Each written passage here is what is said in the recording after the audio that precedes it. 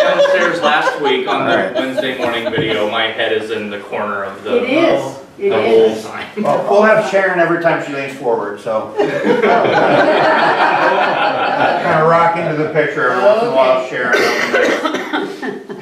All right, well, let us begin with the hymn. Dun, dun, dun, dun, dun, dun, dun, dun. By grace I'm saved, grace free and boundless. My soul believe and doubted not. Why stagger at this word of promise? Has Scripture ever falsehood taught? Know then this word must true remain. By grace By grace God's Son, our only Savior, came down to earth to bear our sin. Was it because of your own merit that Jesus died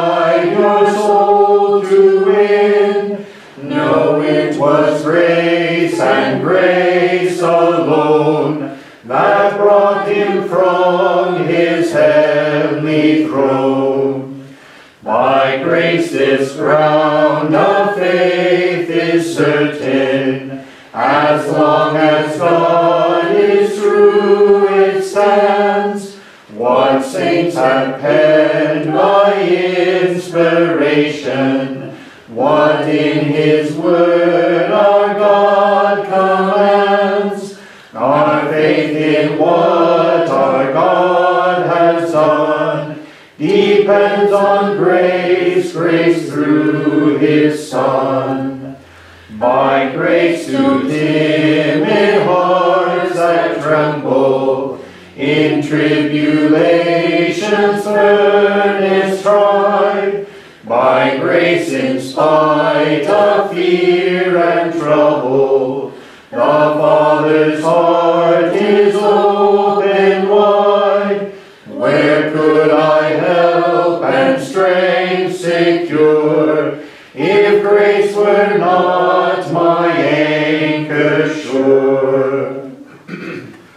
Lord, sometimes I feel that promises just aren't enough to go on. When I am weak, remind me of the promises you have already kept. Your promises to forgive me, to be with me, and to give me all that I need in this life. Strengthen my faith in your promises of your providing, forgiving word, baptism, and Lord's Supper, and in the hope of eternal life with you. Bless my study of your promises and of those like Abraham who believed in them. Amen. Uh, do you know much about uh, this hymn? I looked it up. It's, it's LSB 566. The first stanza is the same as what's in here. The following three stanzas are completely different In the LSB? in the LSB. It's the same author, but the When I, when I, um, looked it up on my phone and, um, played the, the tape, because I know the hymn, but I couldn't remember how it went, there was a second stanza that's not in here, but the rest were the Yeah, same. I think it's a really long hymn.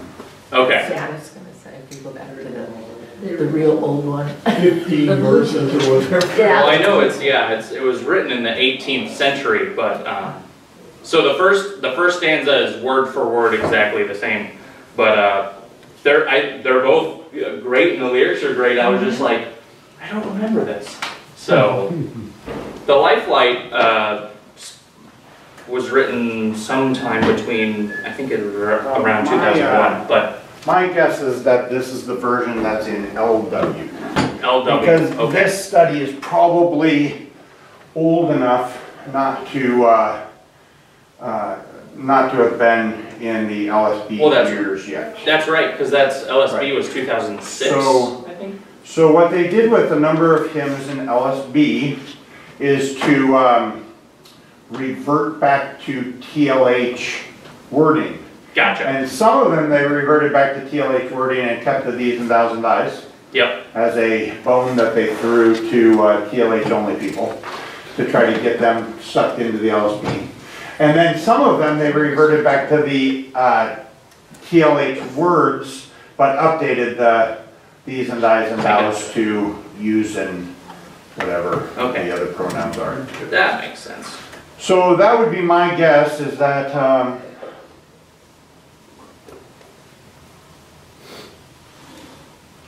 yeah, so verse two is an addition, Okay, and, uh,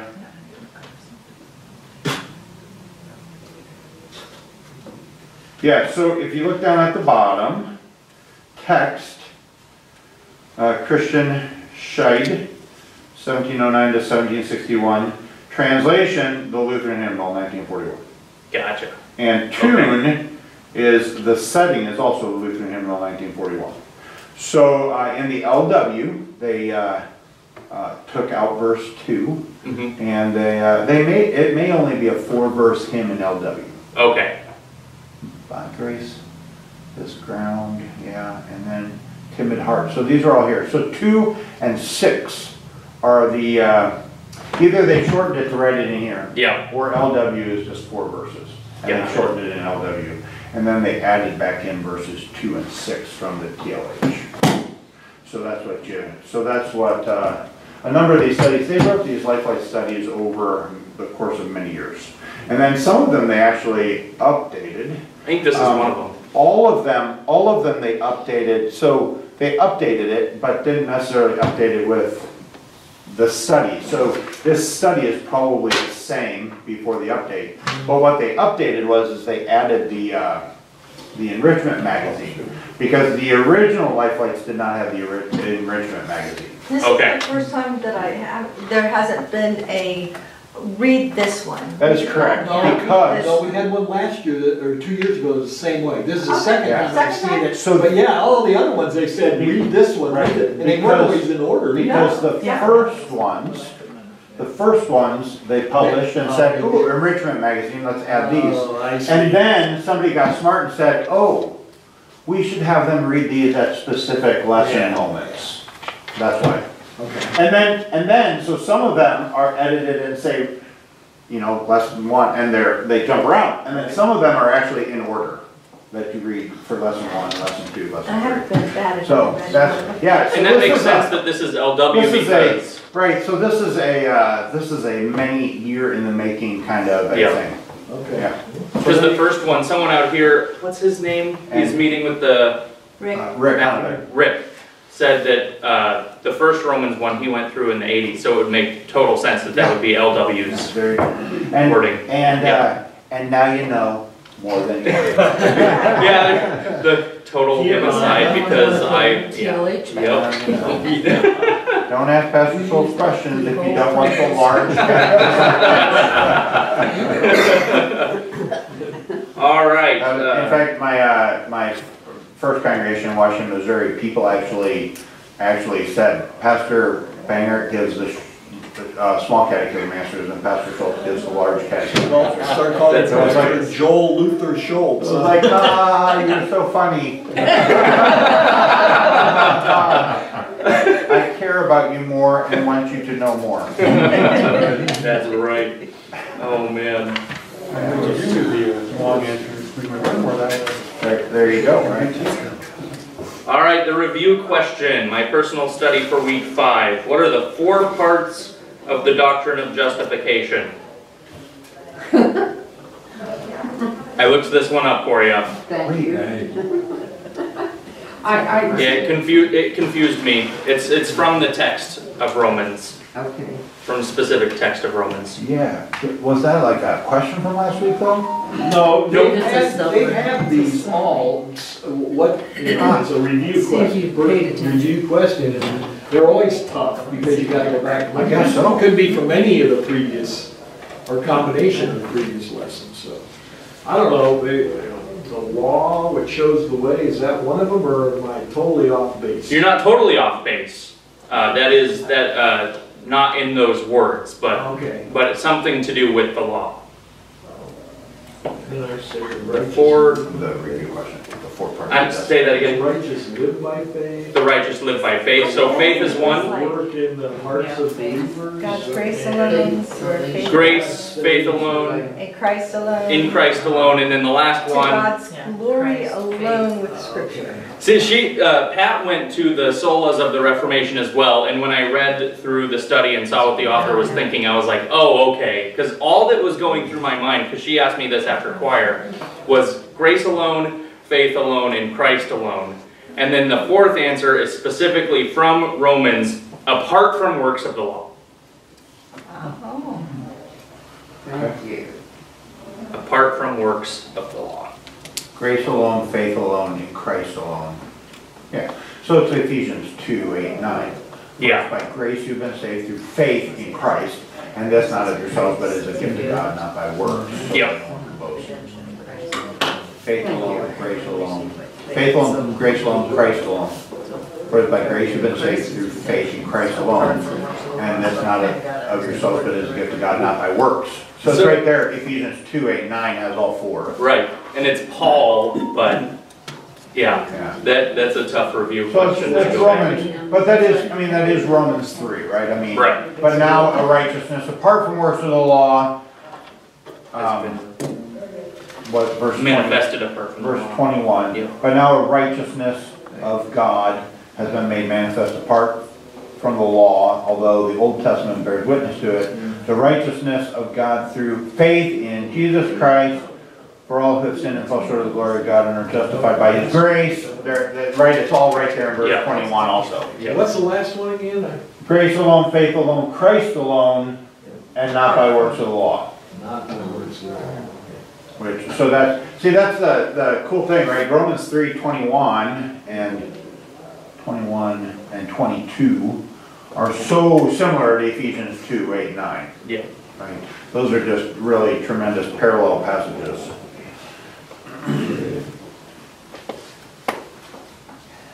All right, so moving on to day one, I'll read Romans 4 verses 1 to 8. What then shall we say was gained by Abraham, our forefather, according to the flesh?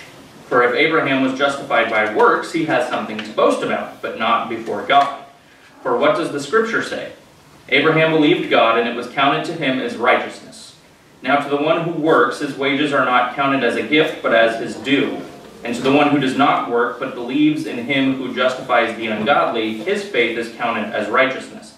Just as David also speaks of the blessing of the one to whom God counts righteousness apart from works. Blessed are those whose lawless deeds are forgiven and whose sins are covered. Blessed is the man against whom the Lord will not count his sin.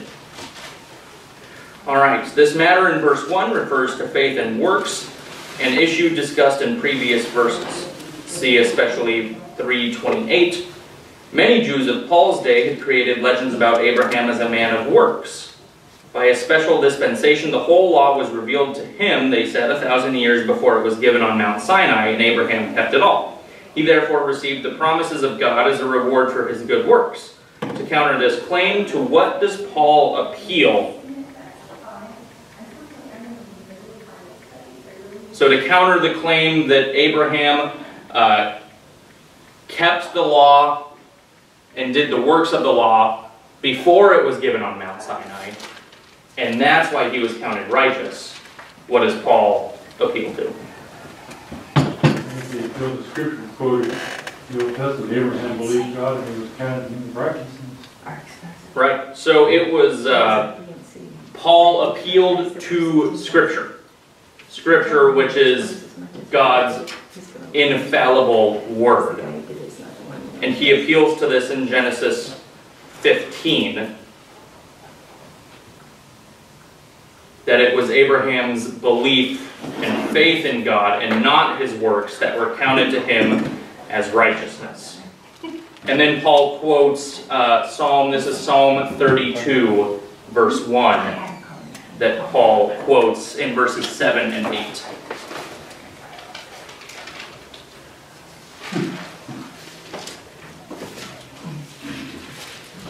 And when we say Paul appealed to the scripture, the law, the prophets, and the entirety of the Old Testament is what he is referring to here.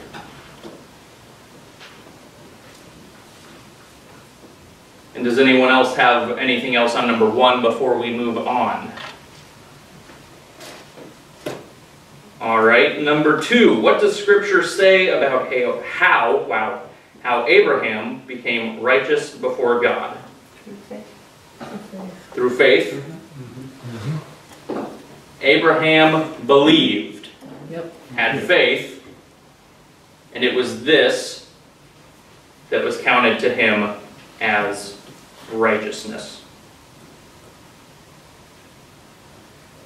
So in number one, it said many Jews of, of Paul's day, and really again throughout time, they built up uh, these legends about Abraham.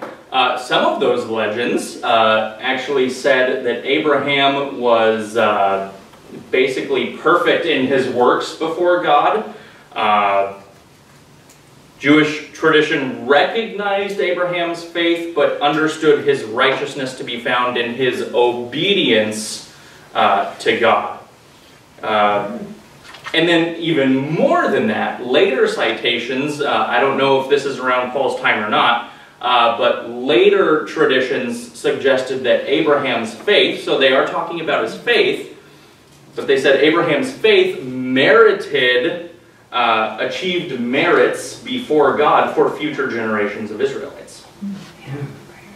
So not works, but faith. So they got the faith right, but then they said that it merited, uh, or that it had merit before God for future generations of Israelites. And Paul appeals to uh, Scripture in Genesis 15 especially to refute that.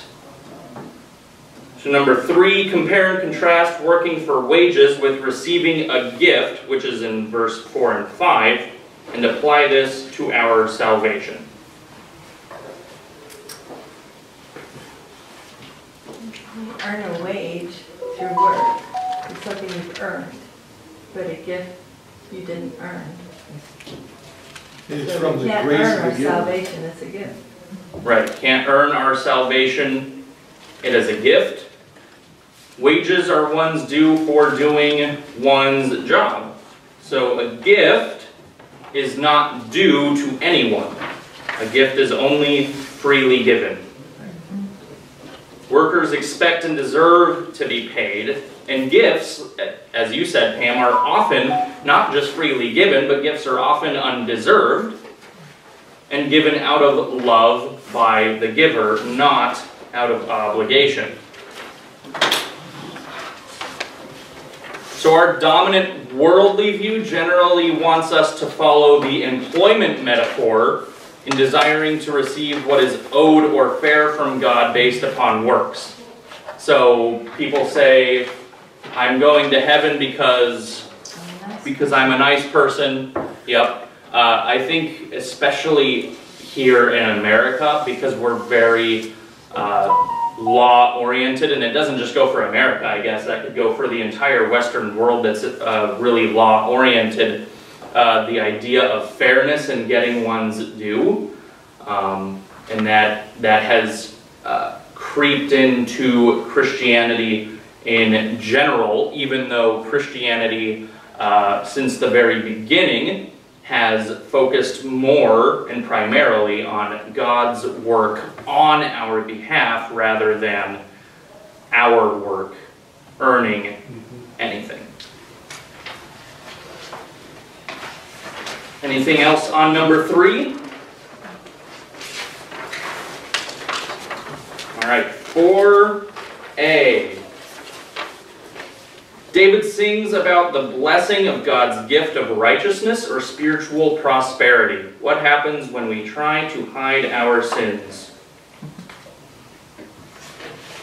I just like the way it was written. My bones are wasted away through my groaning. Your hand was heavy on me. My strength was sapped, as in the heat of summer. I just thought that, that was, It's a very visual, yeah, you can see it. you can almost feel it. Yeah, yeah. Yeah, that's I I love the Psalms for for that reason and the the poetry of the Old Testament. You can see it, you can feel it. It's extremely vivid. uh, all of those things. And so, to your point, uh, yes, when we try to hide our sins uh, or fail or fail to repent, uh, we oftentimes very literally kind of waste away physically and spiritually.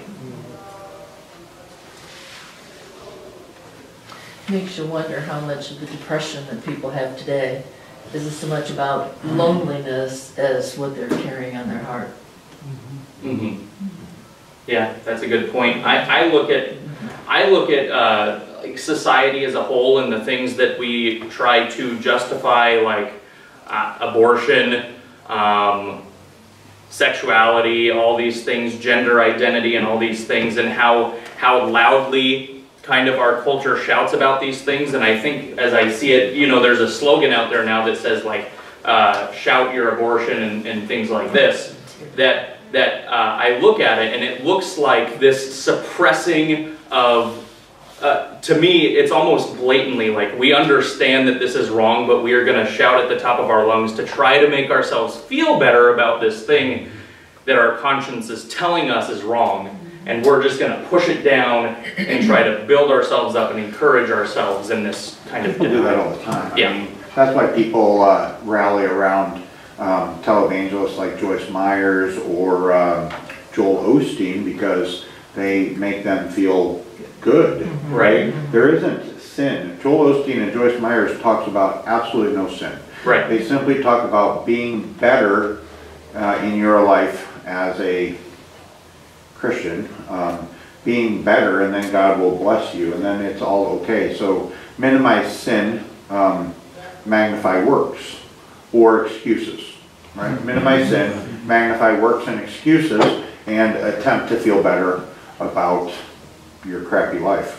Right. Good luck. I mean, that's only crushing over time. You can, ju- I mean, people, people though con themselves for a long, long time. I mean, there are people who will die without the crushing weight of sin, right? Because they've, you know, conned themselves into thinking that they can uh, um, minimize sin and maximize um, works and um, happy feelings and whatever else that uh, takes away that crushing weight of sin.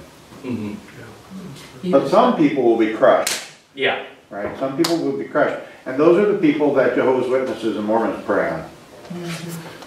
They prey on the people that are crushed, right? And then they, like Joel Osteen, teach them how to live a better life and not be crushed anymore. It's the same, it's the same thing, just by, that, that's why I would contend Joel Osteen, Joyce Meyers, they are not Christians. Um, the people that go and see them may well be Christians, but I don't think they're Christians. I don't think they have anything to do with uh, a Savior, Jesus, who saves from sin. They're, they are no different than Mormons and Jehovah's Witnesses who say, live a better life and God will bless you and, and then your sin doesn't matter, right? But, but that's, I mean, so Joel Osteen um, doesn't go door to door preying on people, but you know, people that are crushed go to Joel Osteen and feel better. People that are crushed have a Jehovah's Witness or a Mormon knock on their, door, especially Mormons, Mormon knock on their door and they feel better because oh my gosh, my life, my life is so crushing. And now you're, you're saying that I just need to be- live a better life. Show me how to live a better life. Mm-hmm. And it's all, it's all fake. It's not real. The, the other side of that with Osteen is prosperity theolo- theology and, you know, and he's always saying, you know, you will be blessed, God is going to shower blessings upon you, blah, blah. And then all of a sudden you're sitting there and it's been five years and I have been in just the dumps with bad things happening. It's like, okay, God hates me. And if you know. recognize Yeah. it, if you recognize it, you're even more crushed by the law. Mhm, mhm. But I actually contend that a lot of people never recognize it. I think people die without actually recognizing that prosperity gospel is garbage that doesn't work, right? Yeah. But, but the people who recognize it are crushed even more. Mhm. Yeah. And it's found more subtly too in in uh, some mostly uh, churches that are part of a denomination that will say that they are a gospel-only church, uh, saved by the gospel, and then what you hear from Sunday to Sunday. And I know someone someone uh, in my life who goes to one of these churches that's a gospel-only church, and you go to church every week and it's do not do this, do not do this, do not do this, do not do this, do not do this, and all of these things. And so, more subtly, it's uh, a complete failure to distinguish law and gospel. Uh, because the gospel, essentially the underlying idea, even if it's not explicitly stated, is that the gospel is for unbelievers. And once you are a believer, then you need the law and you need to obey. And so there are churches that, uh, that I've heard there are some pastors that I know who grew up in certain churches that said, uh, I heard the gospel as a Christian who went to this church on Easter. And that was it. Yeah, uh, um, you know, you make a fair point. I would say probably like this. Uh, A gospel-only church is really a law-only church. Yes. They have very little to do with the go, with the gospel. Joel Osteen says the word gospel, but he Yeah. has no idea what the gospel is. And I've seen interviews with him. Uh, I mean, not just what he does on whenever he does it, Sunday or Wednesday or whenever, but um, I've seen actually interviews with him, and there is nothing that he says that is conspicuously Christian. Because he does law only. It doesn't, Even, yeah, I was gonna say, even in the person of Christ, and, and like, there was an interview Only where, as an example. He'll, he'll- Yeah. he'll mention Jesus Yeah. as an example of how to live, Yeah. right? And that's law, law only. Now, he Yeah. doesn't call himself gospel only, but, but that's the kind of church that does call themselves gospel only, and they're really law only. They, they have no idea what the gospel is. yeah. It's sad. Mm-hmm. So, so sad. Yeah, because they're impacting so many people, Yeah, you the know? church is full. Yeah, yeah. and that, I think, is four A, what happens when you try to hide those sins, or you go to those uh, kinds of places to try and feel better, really, the, the suffering, uh, physically and emotionally, is you're just driven into despair, uh, because, and driven into despair, which we as Lutherans are too, but that's the point of the law, is to get you to the point where you recognize your need for a savior, That's why we do an altar call every Sunday in a Yeah. Lutheran church. You don't come to the altar, but, but we do an altar call every Sunday in the Lutheran church. Every Sunday. And, uh, yeah, and, and, and instead of just being driven so to despair. An every altar call in a lot of like non-denominational churches, they have a big rally. They, uh, uh, make you feel really bad about your sins, and then they say, anybody who wants to can come up and, you know, um, uh, declare their faith in Christ and receive forgiveness, blah, blah, blah. All right, I mean, we do it much better and much more theologically appropriate. Um, But, uh, but we have that kind of non-denominational altar call every Sunday because you confess your sins and then you hear Jesus' words of forgiveness from your pastor. Right? And that's why the vicar doesn't do the absolution Mhm. on Sunday morning um, as a general, hey, we're all forgiven kind of a thing. No, we, you hear the words of Jesus from your pastor. Right? It's much, much better. We do it much, much better than an altar call that you might have um, at a non-denominational church or a Baptist church. Because I know multiple people then, right, who, who think that the altar call, we do it every week in confession and absolution, but in churches who would do like what, what you typically think of as an altar call, I know four or five people uh, who believe this altar call thing is supposed to be this once, like life-changing moment thing, and then after a while they're like, I, I've gone up there four or five times and I don't really feel much different. Like it never really works out for me. And it's really sad. All right, 4B. What happens when we do confess our sins to God? We're forgiven. We are forgiven, and I think especially of uh, part of that confession and absolution again, uh, 1 John 1 9. Uh, if we That would have been a good one to add. I mean, that pop- popped into my head, right? Yeah, yeah, and, and he mentioned Psalm 32 5, but it's in our service. If we confess our, our sins before God our Father, or if we confess our sins, God, who is faithful Faithful and just. and just, Yeah. will forgive our sins and cleanse us from all unrighteousness. I have a couple of notes before we move on uh, to day two. So, if uh, most of you are probably reading from the ESV translation, correct? Uh, is anybody reading from the NIV? We have a couple? Yep. So, in the ESV, verse uh, chapter 4, verse 1 says, What then shall we say was gained by Abraham, our forefather, according to the flesh? Uh, the NIV says, What was discovered by Abraham. And uh, the they're both right, but this is an instance where the NIV is is uh, more correct, and it has uh, it has the sense that what Abraham found and then lived out. Because the verb there in Greek is heurisko, which is to find. Uh, and, and when the ESV translates it as gained, it's to obtain through discovery.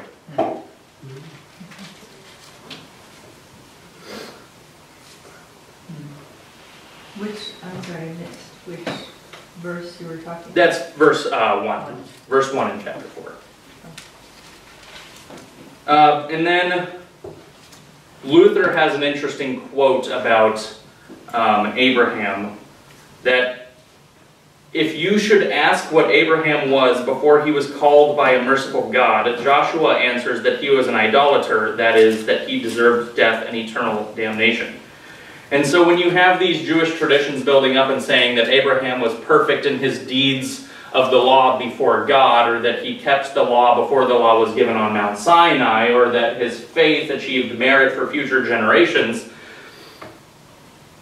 think about the fact that Abraham twice lied about his wife Yeah. Sarah uh, to save his own skin, and then also his conduct toward, uh, uh, really it was his impatience in waiting for the promise of God to be fulfilled when he uh, goes into his servant Hagar and has Ishmael through her instead of through Sarah as God promised. So, so the two examples that are used in verse 4 of these uh, people in faith, and in the first uh, eight verses with him quoting David as well in the Psalms, uh, both of these people are very clearly flawed in themselves, as you can read clearly in the Old Testament accounts. So, just uh, a more more information there. Uh, and I think for Romans 4, uh, verses 4 and 5, that really is a simple definition of to believe. I really like his use of like the civil realm of work and wages. Um, and it's to work is to be owed something, and to believe is to not work. It's passive. All right. Is everybody ready to move on to day two? All right, Romans 4 9 to 13. Is this blessing then only for the circumcised or also for the uncircumcised? For we say that faith was counted to Abraham as righteousness. How then was it counted to him? Was it before or after he had been circumcised? It was not after, but before he was circumcised. He received the sign of circumcision as a seal of the righteousness that he had by faith while he was still uncircumcised.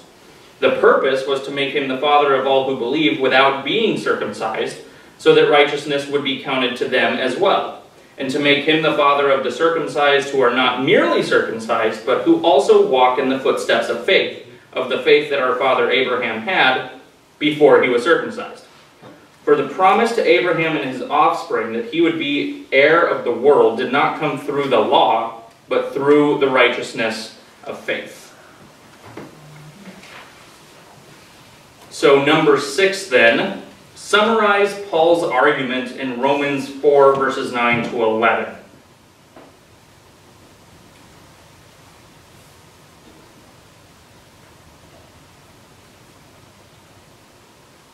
Summarize Paul's argument in Romans 4, verses 9 to 11. I say salvation and uh, righteousness are available to both the Jew and the Gentile, whether they're circumcised or not. Whether you're circumcised or not. Right. Anyone else? They, they use the word imputed a lot, and, and, and I have, because God imputed his righteousness upon Abraham even before he was circumcised. And imputed, again, I think, uh, means it's there, um, you know. Put on, Put on. put on. Put on, yeah. Mhm. He believed and was counted righteous before the rite of circumcision was even instituted. So before there, and then the, and then he says that the circumcision is a seal of the righteousness So, that he was given. so, so then, can a Gentile believe before being circumcised or without being circumcised?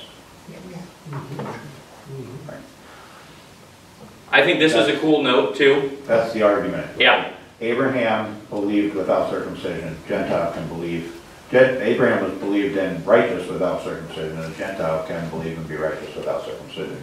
Yeah. And another reason why we come uh, together as fellow Christians to Bible study uh, is because of things like this uh, pretty cool note. So, Abraham's faith and belief in God was credited to him as righteousness in Genesis chapter 15. And then I have a circumcision. question, I'm sorry, I Yeah. have a question. Um, Would um, uh, circumcision, I, I, I always thought, and I always believed that circumcision was a covenant with God, is that correct or not? Yeah, it was, it was, what did we say uh, a week or two ago? It's the sign of the covenant. A sign of the covenant, okay, so, so if you weren't circumcised, then, You're snubbing your nose at God's covenant, and you're lost. So a Gentile, in the Old Testament, how is a Gentile saved? Become, and not Jew, there were no Jews in the Old Testament. Israelite. Become an Israelite by believing the covenant with God and being circumcised as a sign that you have faith in that covenant.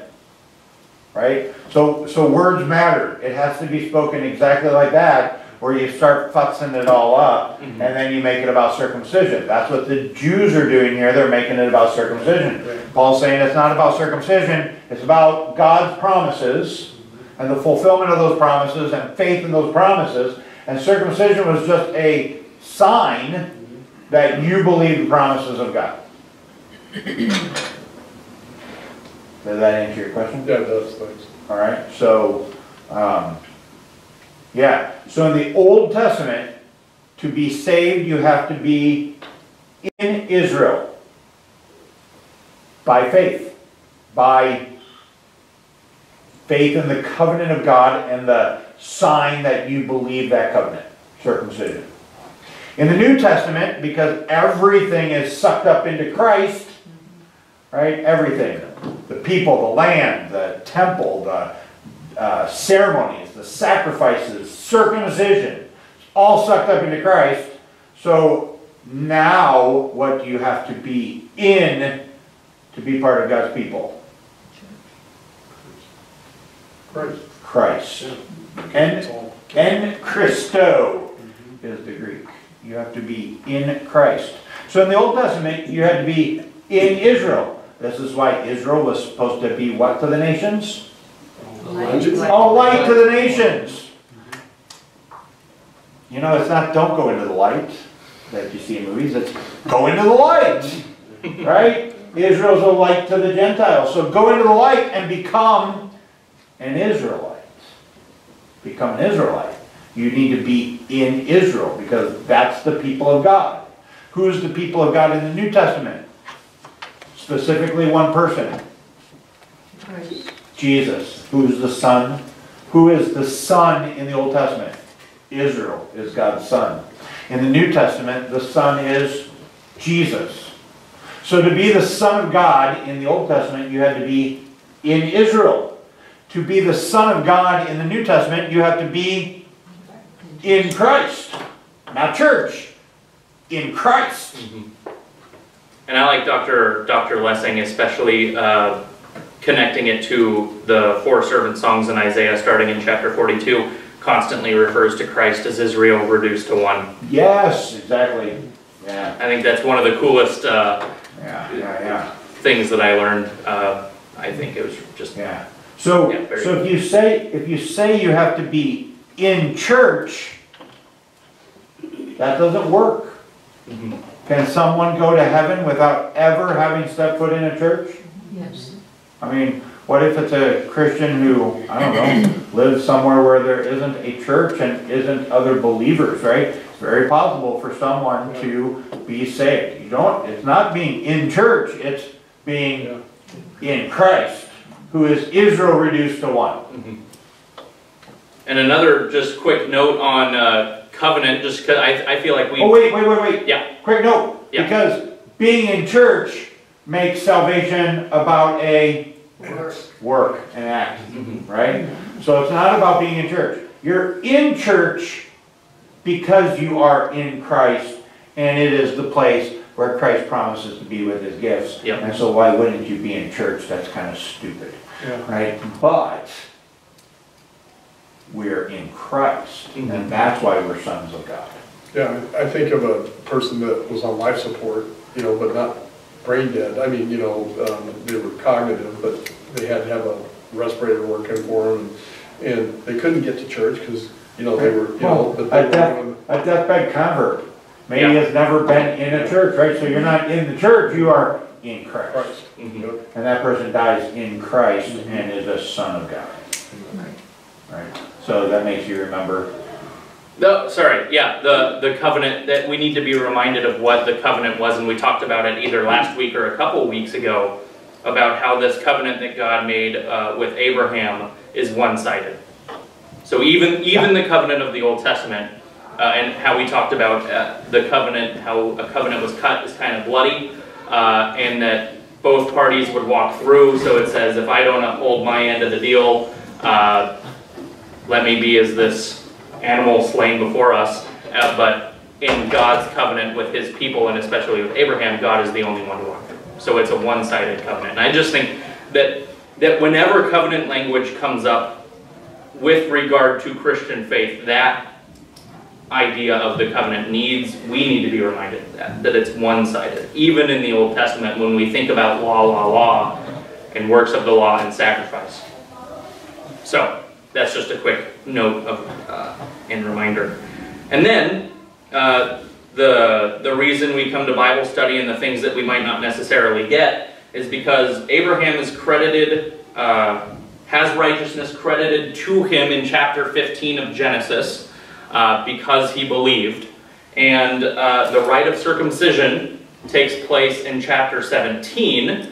And uh, it is likely that a period of between 14 and 29 years is between Abraham being credited with righteousness and circumcision being instituted.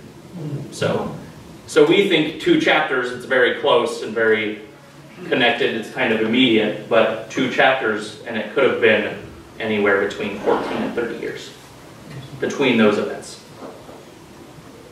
All right, so number seven. Does anybody else have questions or comments before we move on to number seven? All right, why are you considered a child of Abraham? And it says, see also Galatians 3 28 and 29. Why are you considered a child of Abraham?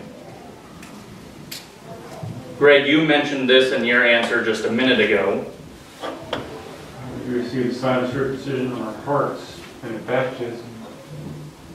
And all who believe become children of Abraham. By the leading, having faith. Mhm. He is the father of all who believe. He is the father of all who believe. I like that, Abra, we are Abraham's seed, Mhm. and heirs according to the promise. And this kind of, this reminds me of, of how uh, uh, the, the Roman Catholic idea of uh, apostolic succession. Uh, we talked about that earlier on in, in this class about the idea of, of the Pope uh, just being this constant line of someone who uh, directly was associated with an apostle or who learned from an apostle, and that's apostolic succession. Um, and so that's their idea. And I, it kind of reminds me of this idea of being a child of Abraham because it's your blood lineage. Uh, it, it reminds me of that in the fact that, so uh, they would say that we don't have apostolic succession in the Lutheran Church, um, which we wouldn't necessarily claim, but they claim apostolic succession. But what the church needs is uh, the apostolic witness and teaching and faithfulness to their witness about Christ. So even then, it's not just about being a direct descendant or a direct student of the apostles. It's about teaching what the apostles themselves actually taught and not messing with that. So that kind of reminds me of that whole paradigm.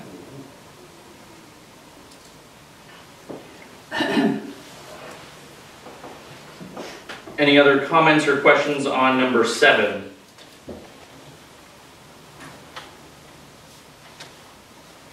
All right, on to number eight. To walk in the footsteps does not mean doing the good works that Abraham did, but rather believing in God's promises as he did. How do you know that the promise mentioned in verse 13 is a promise given to you as one of Abraham's offspring? So, verse 13 For the promise to Abraham and his offspring that he would be heir of the world did not come through the law, but through the righteousness of faith. So, how do you know that the promise mentioned in verse 13 is a promise given to you? By faith. By faith. Yeah, I, I wrote a seal of the righteous, a seal of the righteousness of the faith which we had while still uncircumcised, just like Abraham was uncircumcised. That we had while still uncircumcised. Anyone else? All believers in Christ are offspring of Abraham and this is this one's pretty cool and heirs of the whole world.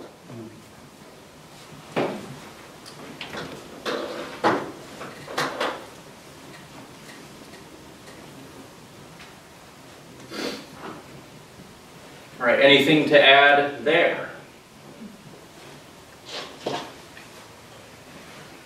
All right, number nine. What can it all mean that we actually inherit the world? So it has you uh, looking around at Psalms, Matthew, Romans, Revelation. What can it mean that we actually inherit the world?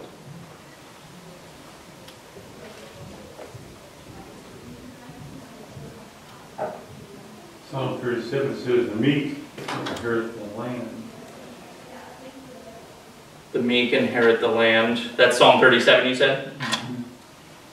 Matthew 5 says, uh, the meek shall inherit the earth.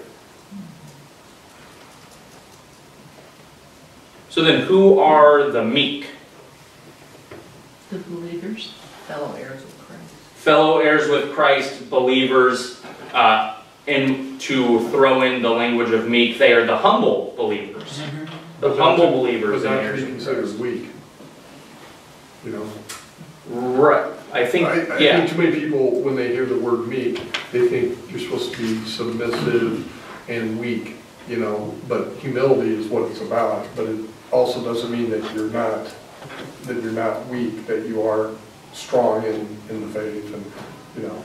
So I, too many people I've talked with always think the meek means that you're weak, and I don't think that's true.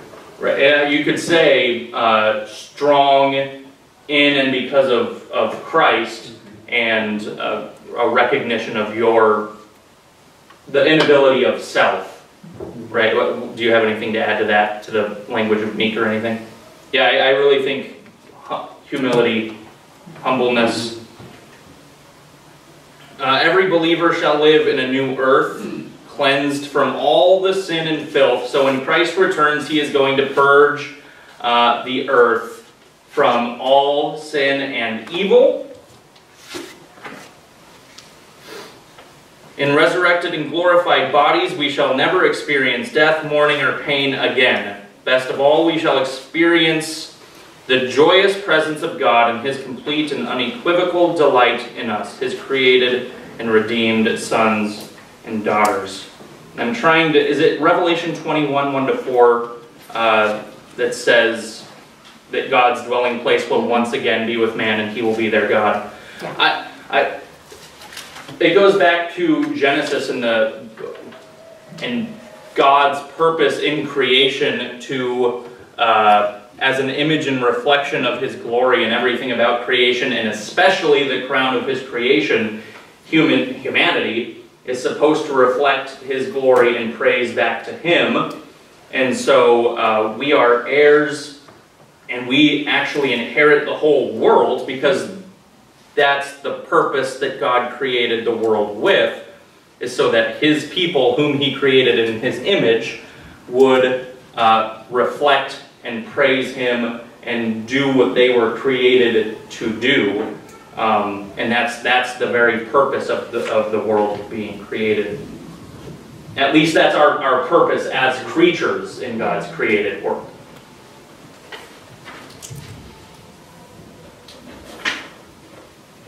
Anything else to add to that?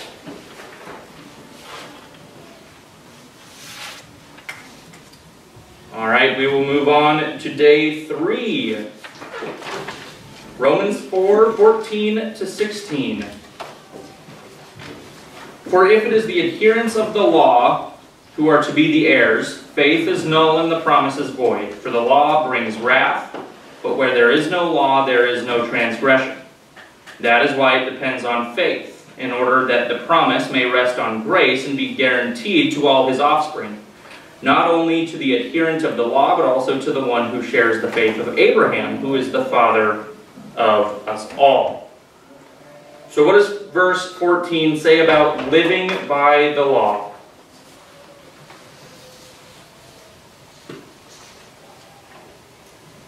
It doesn't mean anything. The It- promise is worthless. The promise is worthless. The faith is null and void. Faith is null and void.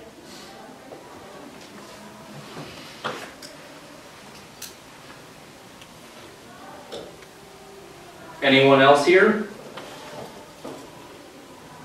I mean, it's like, okay, we could get there by adhering to the law. What would we need faith for? What would we need faith for if we could get there by the law? And if inheriting eternal life was possible through the law, yeah, then what's the point of the gospel? What's the point of the promises of God? Uh, and I take it all the way to the cross. If inheriting eternal life through the law is possible, then Christ did not need to die. Which is why the example uh, that some uh, Christians, and I wouldn't say that, I don't know if entire denominations or traditions would say this, but there are Christians in many camps who would say that uh, Christ dying on the cross was an example of God's love for us. And then they kind of leave it at that. And that, reducing it to an example uh, or as a show of God's love for us, actually, it, it's kind of painful to hear.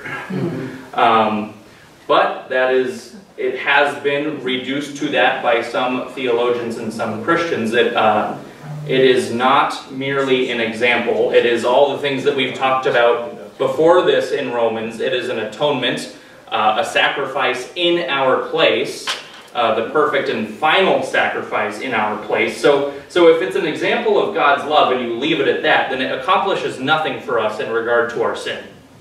It accomplishes nothing for us, and I think that's that's more of uh, kind of the implication of uh, verse 14. If inheriting eternal life was possible through the law, then not just the promises, uh, not just yeah, not just the promises of God, but Christ's death on the cross also was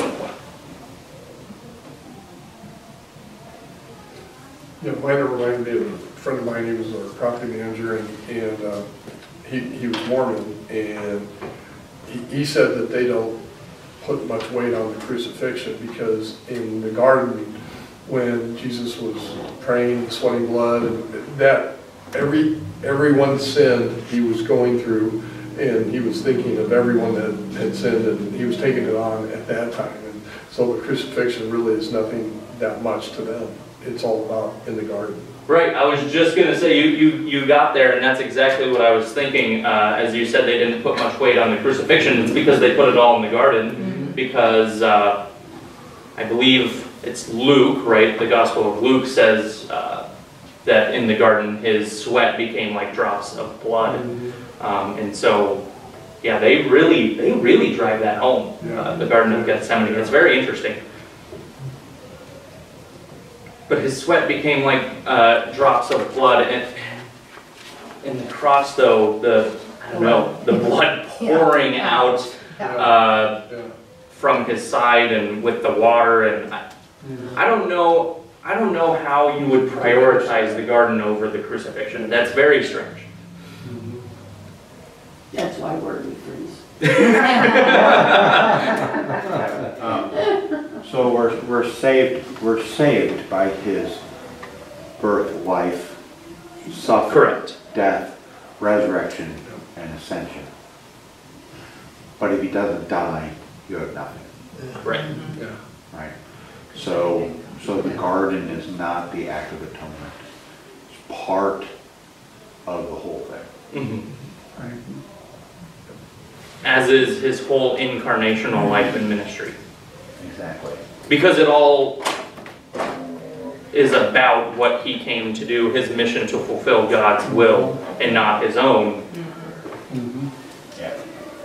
Everything leads to death and resurrection. Mm-hmm. All right, 11a. Why does the law bring wrath? Because we can't keep it. Because we can't keep it. I mean, you gotta keep it from the moment you're born to the moment you die.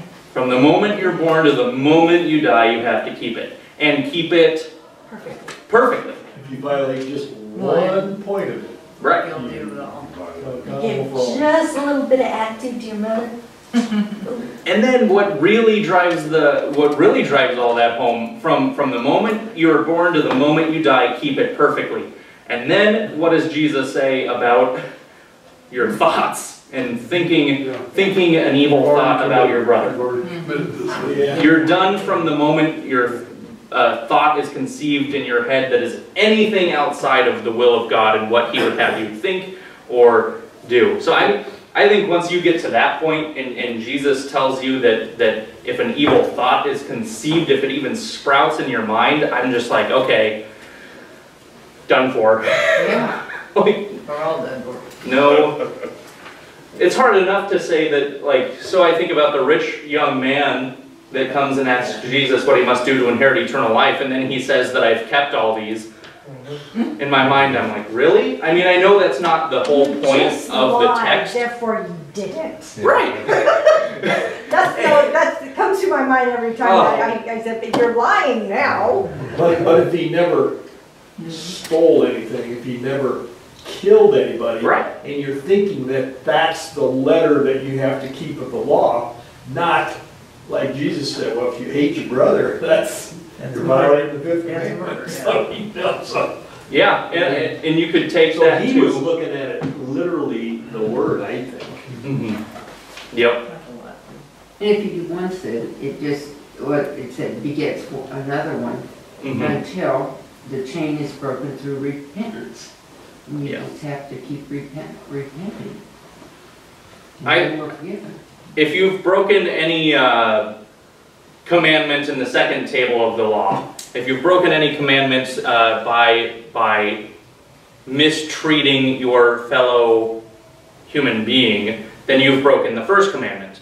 And if you've broken the first commandment, you cannot possibly fulfill any of the second table of the law because the first commandment is about loving God above all things and making him your God. And if you can't do that, you can't properly love and be of service to your neighbor. You could do good things for them, maybe materially or in the flesh, but you cannot keep the whole the whole of it. Uh, so, yeah, one sin begets another, and you break one commandment, you break them all. Any attempt to fulfill the law is imperfect, and God demands perfection. So that's the essence of 11a.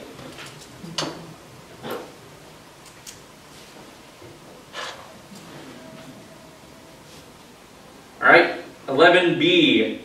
The second half of Romans 4:15 may be quoting a legal saying common in Paul's day. It says, in effect, that an act is not a crime if there is no law against it. Paul refers to the period when Gentiles had not yet been taught God's law. Nevertheless, to what law are people accountable, even if they do not have God's law as revealed in the Bible? To the law written on their hearts and in their consciences. is what I- Right.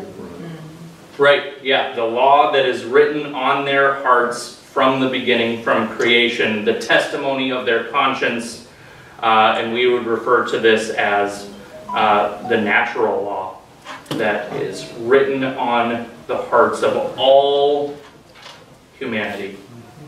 And Paul already talked about in earlier, and we talked about it in, in class, is that even though you may not have the Mosaic law uh, given on Mount Sinai, you are still accountable to breaking this natural law that is written on your hearts. That law you are at least accountable to. And so everyone, regardless, Jew, Gentile, everybody falls short.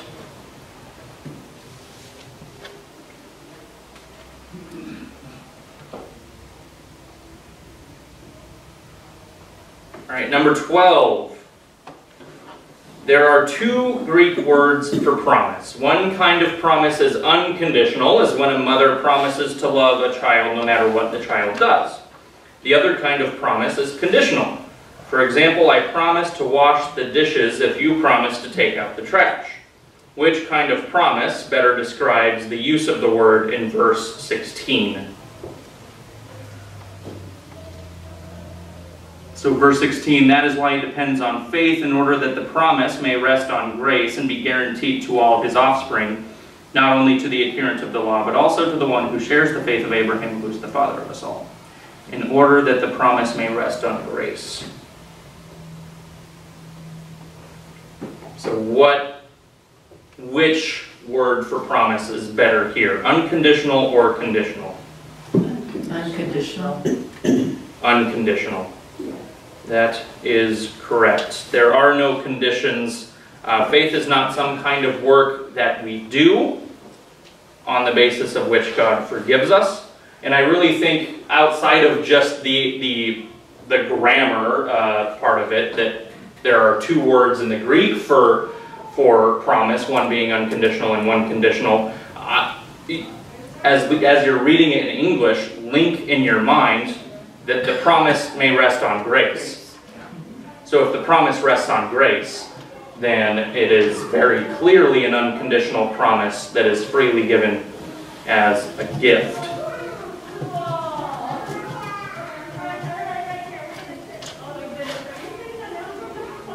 Anything to add there?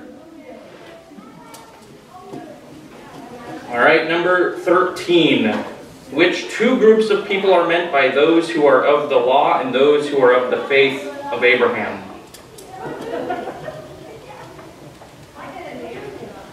Also in verse 16.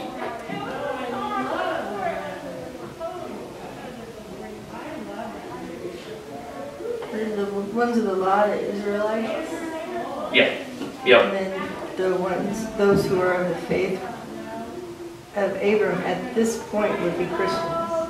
Right. In, in Jews, it's Jews and Gentiles here, which is uh, uh, Paul has right Jewish Christians and the Gentile Christian. and Gentile Christians. So this is Jews and Gentiles, and those who are of the law.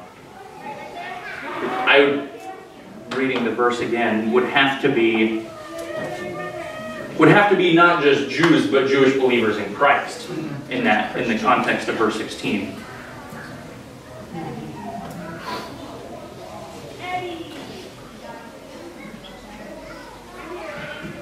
I think around this time when, when Paul is writing to the Romans, uh, this is, I'm not sure before, after, or in the middle, but this is around the time when whoever was the emperor of Rome uh, had expelled Jews from the city.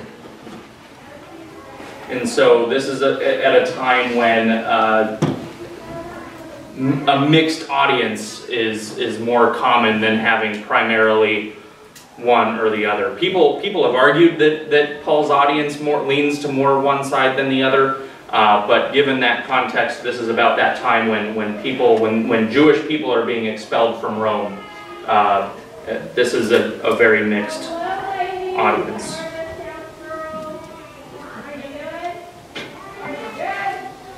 All right, anything else on number 13? All right, day four. Romans 4 17 to 19.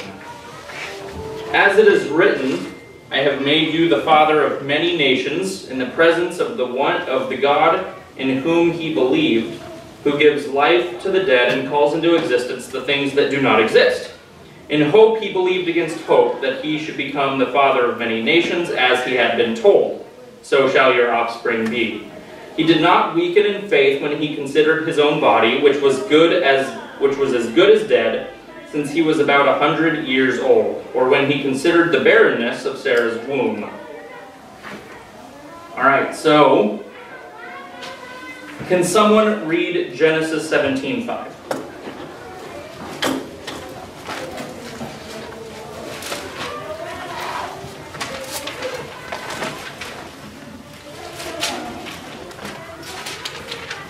Seventeen five, That's correct. no longer shall your name be called Abram. You shall be called Abraham, for I have made you the father of multiple nations. Thank you very much. So God changed Abraham's name from Abram, which means exalted father, to Abraham, father of many.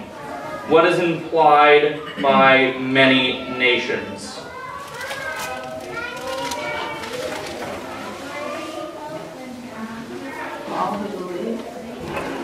All who believe. Yeah, it implies more than the physical relationship. It's what uh, we talked about earlier in, in Abraham's very purpose, in, in his offspring's purpose, that God gave them to be a light to the Gentiles. And like numerous as stars in the skies. as numerous as the stars in the skies. Which then, you know, you, you read through, and, and God does indeed bless Abraham with a ton of descendants within Israel itself. But then, if you think about it too, then if we're all part of Abraham's family by faith in God, okay, then it then it then it really expands. So so it, it's kind of cool to see that promise being fulfilled on that uh, on the level of just biological familial relations and how big how you think about how when the uh, the Israelites were in Egypt that the Pharaoh was concerned uh, that the Israelites were multiplying like crazy and were going to outgrow them as a people and this is part of the reason why he wanted to put them in shackles and make them servants lest they would uh, uh, overpower them through sheer numbers. So you see it being this promise of God being fulfilled on the biological level, but then when we talk about being family of Abraham in faith, then the promise is fulfilled in, I don't know, a more complete, a more expansive way.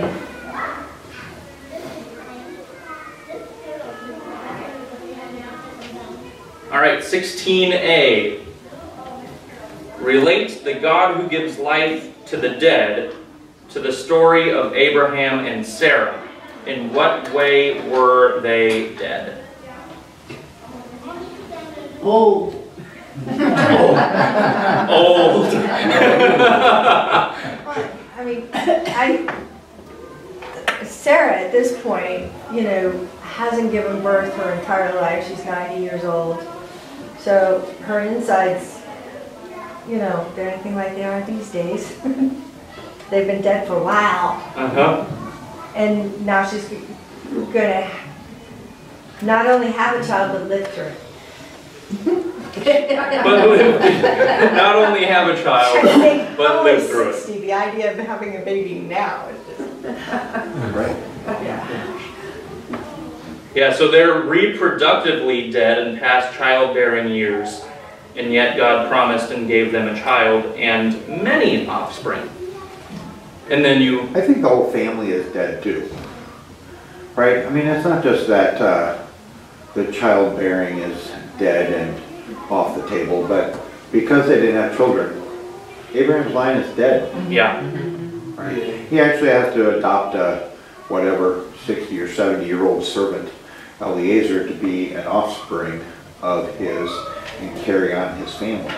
But I mean, that's, right, that's not Abraham, right? Abraham's family is dead, and it's only through adoption that it can even live. Mm-hmm. But they had a child. But they had a child. Yeah, yeah, yeah, but before he had, Oh, before. before they had Isaac, right? Mm-hmm. It's always interesting to think about Sarah's reaction too. It kind of re- uh, reminds me of, uh, of Zechariah, right? With, with John, that Sarah kind of laughs and uh, God is like, Yeah, okay, right?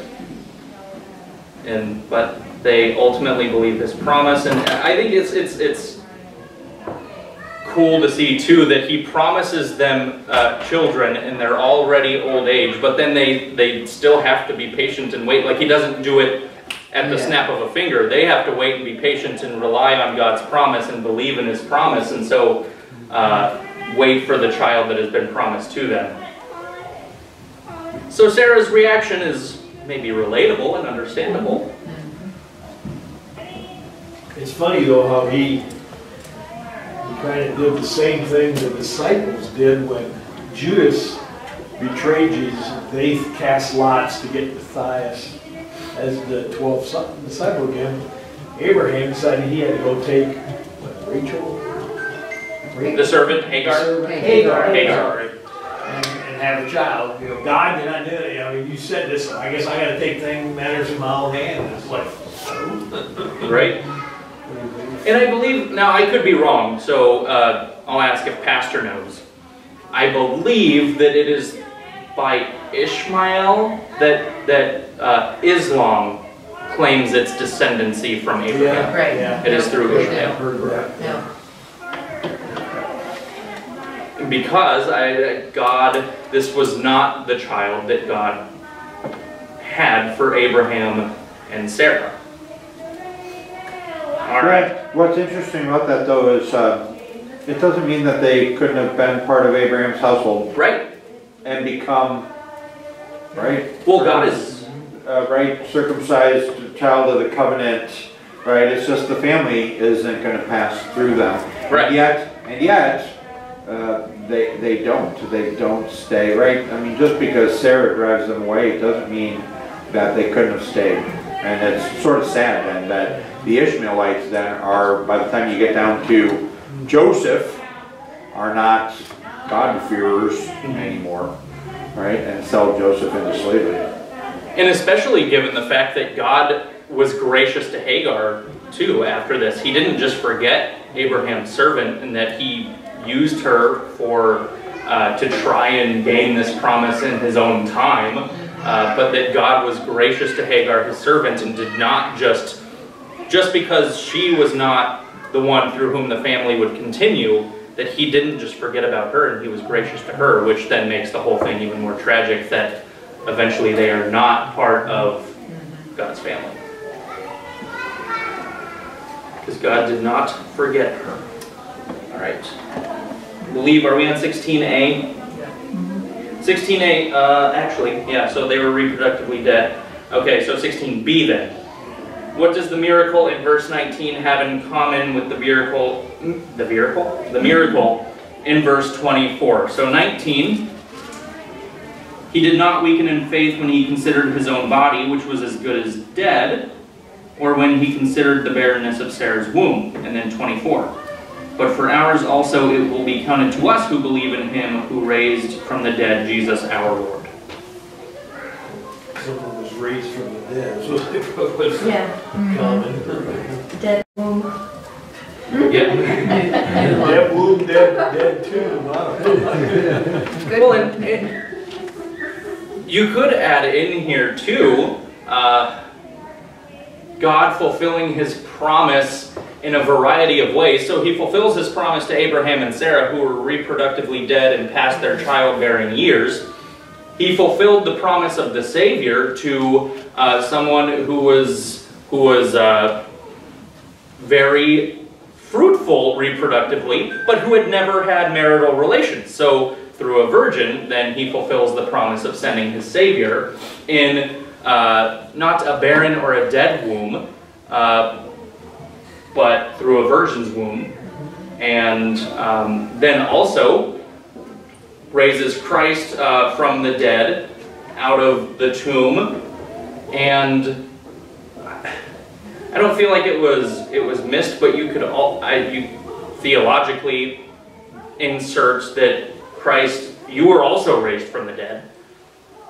So Paul has already mentioned in Romans that we are dead in our trespasses, that we all fall short of the glory of, God. And so uh, if, if salvation is by faith uh, through the grace of God and not of our own doing, then we were dead before Christ claimed us. Uh, unable to do anything in regards to our salvation before God, unable to please Him or do any any good work, because then Hebrews uh, tells us that good work, truly true good works are done in faith in Christ. So apart from from faith, good works are really not even possible. Uh, and so each one of us has been raised from the dead.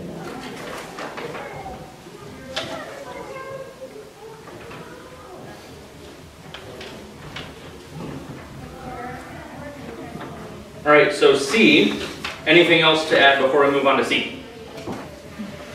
All right, so the phrase, and I'm assuming this phrase is God who gives life to the dead, also has two additional meanings for us. What are those two additional meanings? One was eternal life. Eternal life, yep, that is one.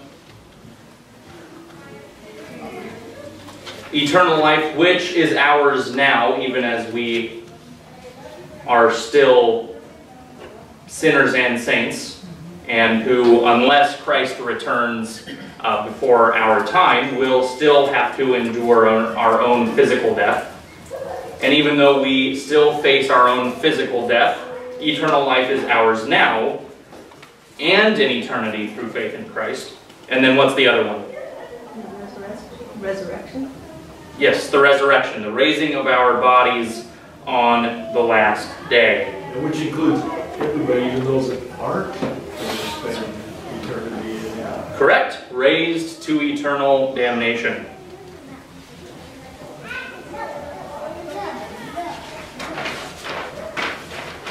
I, yeah, that, so there are then those, those uh, theories about hell and condemnation and damnation, and one of the most popular ones uh, uh, not universalism. So universalism says that, that everybody is going to go to heaven and ultimately be saved by God. But then there's the, the view of condemnation of total annihilation, the annihilation of the sinner, uh, so that they will be completely wiped out of existence.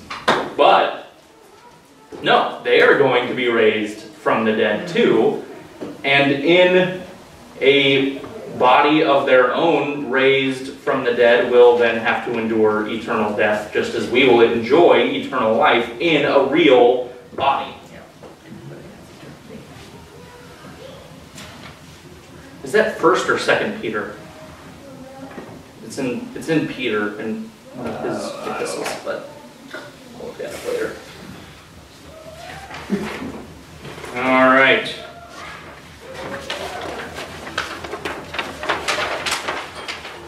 We are flying through this. All right, 17. In Old Testament times, a man hoped for at least one son who would inherit from him. In the absence of a son, the nearest living male became the heir. So this is what Pastor mentioned with, uh, was it Eleazar? Is that what? Uh, Eliezer. Eliezer.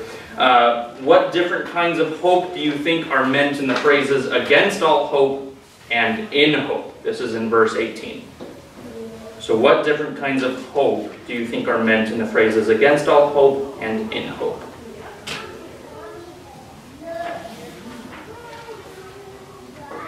Against all hope is no hope, no faith.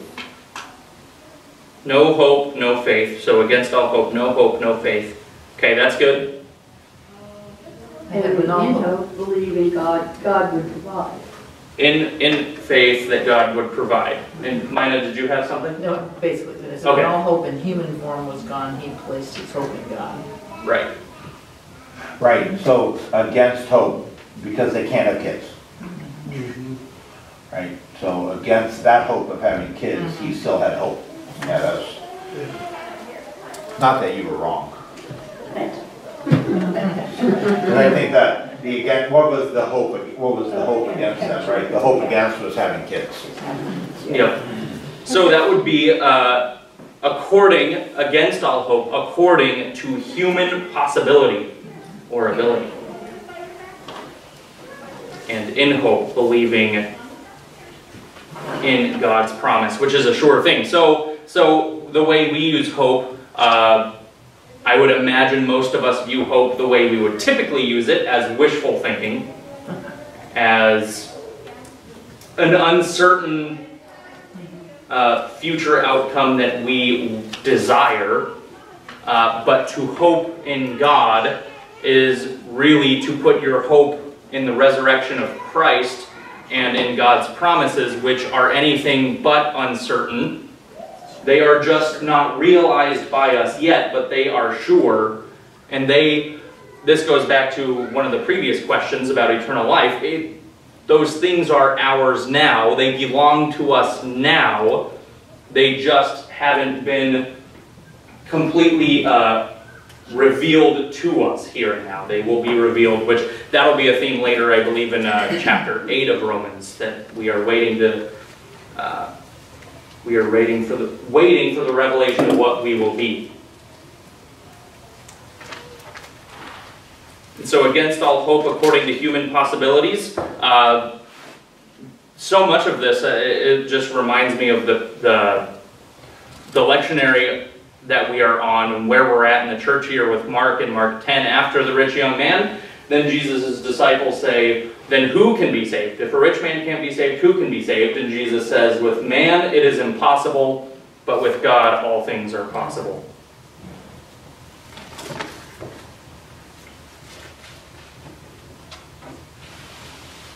Anything else to add there? It just had a thought, it makes me think of people who live by when all else fails, then I get God. And, You know, we've tried everything, Yeah. the sciences, I don't care what you want to call it. But ultimately, you have to go to God. Your ways won't work. Yeah, that's a good point. That, and it, uh, I see that a lot with like natural disasters, uh, hurricanes, tornadoes, uh, things like that. Um, Earthquakes, when the earth shakes, everybody loses out. right. Yep. 18. At first, Abraham laughed at the promise of an heir. What were his doubts and what was his solution? Since he couldn't get Sarah pregnant on his own, he's gonna work with Hagar. Right? So, uh, his doubts are about his own uh, ability, which is which is good. You should doubt your own ability, but he had the promise of God, and so he didn't need to worry about it because the fact that God promised him meant that Abraham's ability should not have been his focus. So he he, he was right in thinking and doubting in his own ability, but he needn't obtain the promise through his own scheming.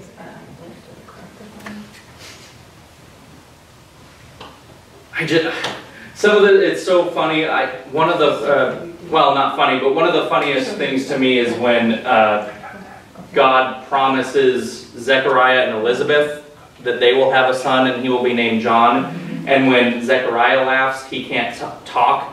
I just think it's so great that then they're all debating about what he should be named, and they're- they're like, "No one in your family is named John. This isn't a familial name. Then what?" And then so they ask Zechariah, "Zechariah, what shall he name?" And you just have this picture in your mind of he turns around and grabs a parchment or whatever it is and scribbles, "His name is John."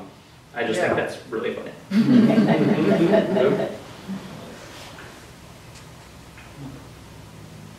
All right, anything else to add before we move on to the final day, day five? All right, 20 to 25. No unbelief made him waver concerning the promise of God, but he grew strong in his faith as he gave glory to God, fully convinced that God was able to do what he had promised. That is why we that is why his faith was counted to him as righteousness. But the words it was counted to him were not written for his sake alone, but for ours also. It will be counted to us who believe in him who raised from the dead Jesus our Lord, who was delivered up for our trespasses and raised for our justification. In spite of misgivings, Abraham did not stop believing that God would keep his promises. Read Genesis 18:14 and Matthew 19:26 and complete the following sentence as Abraham might have. I believe that God can Do all Do things in his time. do all things in his time. Someone else? I had you Impossible. do anything, even what is impossible for men. Right. What is impossible for men? You said he can do the impossible. Did anybody else have anything different in your own words? Do all things. Do all things. I believe that God can do the impossible. And I think so, uh, the way, uh, or a way of, of thinking about this too, is that, that God is not bound to our human condition. Uh, or the things that we do. So, it, so much of ancient religion in the Middle East was uh, when you, when the nations worshipped multiple gods, uh, was the predominant belief outside of Israel that was what you did would you could manipulate the gods because the gods were were seen as as powerful. Uh, but they were also seen as capricious and uh, not maybe all powerful. So more powerful than humans, but not all powerful, and um, capricious.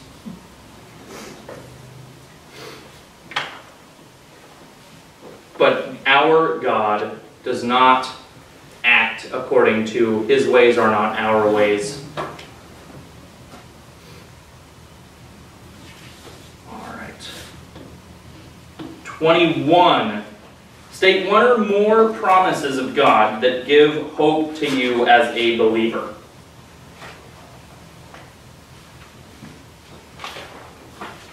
Forgiveness of sins. Forgiveness of sins, Promise of eternal life. the promise of eternal life, Well, I like looking at rainbows because he promised, you know, when he destroyed the world again with water, but it's still a visual reminder, he does keep his promise. right? That's the one. God keeps his promises in the sign of the rainbow.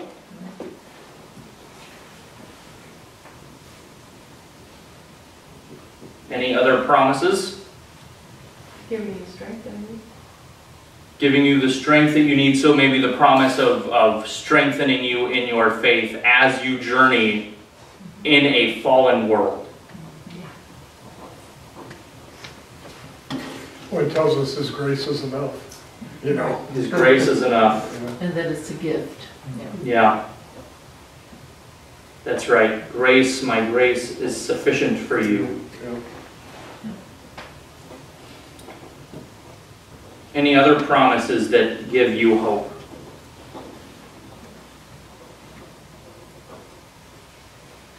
I look at the promise of, of resurrection.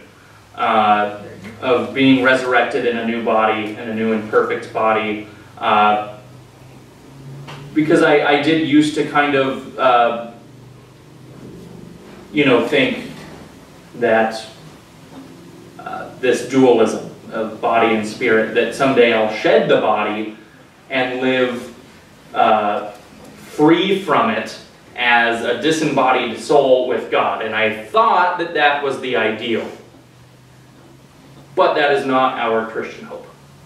Our Christian hope is the resurrection to uh, not only a new and perfect body that we will be raised in, but new heaven, a new heaven and a new earth as well. Uh, that was something that Pastor and I talked a lot about uh, as there were some questions. I don't know if it was related to uh, one of the lectionary readings uh, that was preached on, but one of the conversations that we had pro probably for like the first one or two weeks that we that I was in the office was that uh, for a while, for some reason, Christianity totally just ignored this promise of resurrection as an embodied resurrection. Uh, and, uh, uh, of course, with the new heavens and the new earth, too, so that, that heaven is not our final home, uh, that heaven and earth, when Christ returns, will, will be together, restored. I'm but a stranger here. The new heaven and earth are my home. You can sing a song as long as you fill in the blank, right? It's not, Right. heaven is not my home, but the new creation is my home. It's not, we don't look forward to dying and going to heaven. Don't look forward to dying. Dying is a bad thing. It's not what God designed for you. He does not, de- did not design for you to die. Don't look forward to dying. Look forward to Jesus coming again. End of the church year, Advent, right? We look forward to Jesus coming again. We don't look forward to dying and going to heaven. So you don't say, I don't know why God doesn't just take me home to heaven. I'm ready to go. You should, you should never be ready to go to heaven. Be ready for Christ to come again. And if he takes you to heaven in the meantime, great, a blessed state, Mhm. awesome. You don't have your body though, so there's a lot of things that you can't do in heaven. No body. I don't know how you sing praises to God. You Yeah. don't have a mouth or a voice. And I think what we what we miss about this and why we want to be in heaven is that's where God is, or in our minds. But the reason that first of all, humans were created to live on earth. We were created to live here on earth. And I I think the reason that we see or maybe are tempted to see heaven as our home is because that's where God is. But what we miss is that God does not dwell with us on earth because God does not dwell amidst sin. And that when Christ comes back to restore the creation, as Revelation 21 said earlier that we looked at, uh, that we live on earth, but God will dwell with us because heaven and earth will be perfectly joined together, which they are not right now, Somehow, some way, better than the new creation. somehow, I some mean, way. Better than the first creation. better than the first creation, better than the Garden of Eden. And we see that picture, we, we shouldn't be missing it because we already have the picture in the divine service when God comes down to earth to feed us with his body and blood, uh, to speak to us words of forgiveness. Uh, that that is the picture that we get. We don't ascend to God in our Sunday morning worship when we come to church. God comes and meets us here in this place to give us his gifts. That's the picture that we have. That's what we should not be missing when we think about heaven and earth and the new earth and the new heaven. All right. 22. In what way do the words credited to him as righteousness also apply to us?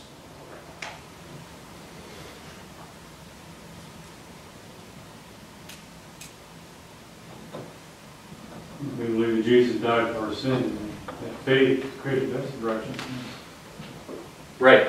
Faith, Through faith.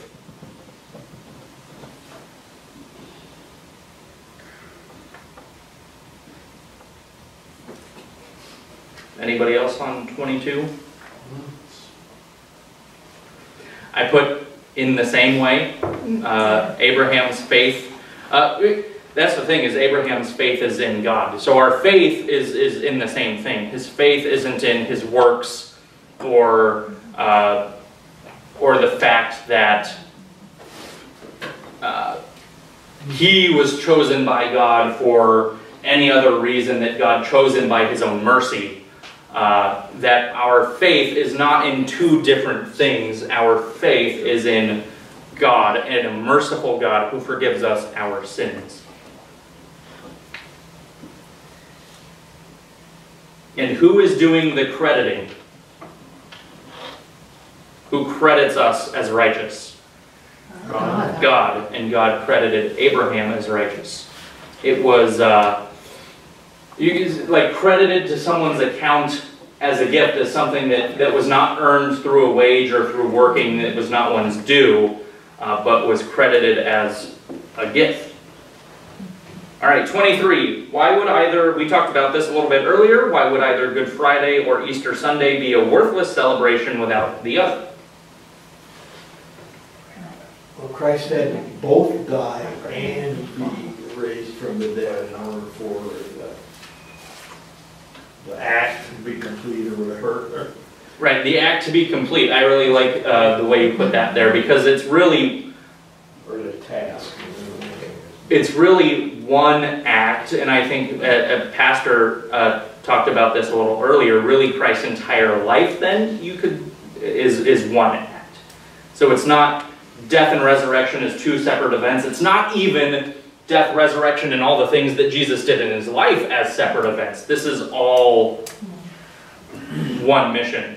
And so, what do we miss if Christ ascends to heaven but doesn't die? So, what what is not done for us if Christ ascends to heaven without dying? Our sins aren't covered. Right, there's no sacrifice, our sins are not covered, and we are left in the same oh, oh, oh, What's- place. What's the Greek word? Sins aren't covered. What's that blood covering word? Do you remember the Greek word? Oh, I really. It's a fun one. All fail. I really like this Greek. That's all right. Hilasterion. The other four links. Hilasterion. There's no blood covering if there's no sacrifice. This is why, this is why we preach, what does Paul say? We preach Christ? We preach Christ crucified. He does not say we preach Christ risen from the dead. We preach Christ crucified. I had a principal, principal's wife at my first congregation stepped into my office one day and said, why do you guys always preach about Jesus' death and never about his resurrection? It's like, well, well, hold on there for a second, because we do preach a lot of resurrection, but, right? We preach Christ crucified. Words of Paul. We didn't, we don't, we preach Christ's resurrection also, but without the, without the sacrifice, the resurrection doesn't matter. Doesn't matter. Now, Paul also says that if Jesus had not been raised, your faith is in vain. Right? Because then there's no victory. Right. But, um, but, but it has to be in that order. We preach Christ crucified. Because without the sacrifice, there's no blood covering and you're dead. Mhm. I, I, the crucifixion is the not only the central event of human history, but really like the fulfillment of all of history of all time. Like that event. I forgot the most important part of that story. Yeah. Her point was, is that the death is kind of a downer. And the resurrection is more joyous, so we should preach the resurrection more often. More joyous. The death is joyous. Christ's death, why is it called Good Friday? Because his death is joyous for Christians. Because we don't have It's sad and horrible, but the death is joyous. You, you can't get, right, it's really weird though, right, but that, that East, Good Friday is always just very solemn, et cetera, and then Easter is blah, in your face, hallelujahs, right? We should be very joyful on Good Friday. Good Friday is a joyous, is a joyous time because It- Christ dies. It's not joyous and it is a downer if you miss the whole point of what's going on. Right, right, right, right. Mm-hmm. Yeah, anyway, just interesting. Yeah. Anything else to add on 23?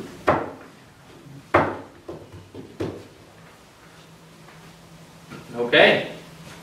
Well, let us close with a word of prayer.